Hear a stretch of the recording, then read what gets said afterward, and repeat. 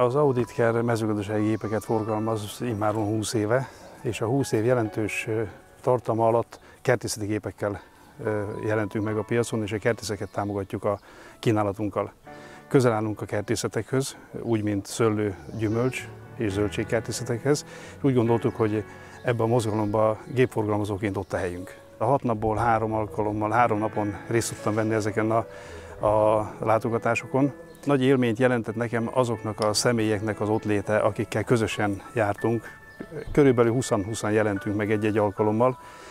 Mindegyik nagyszerű ember, mindegyik egy különleges egyéniség, akivel ott lehetünk. Sokat nem ismertem közülük, értékes kapcsolatokra tettem szert ez idő alatt.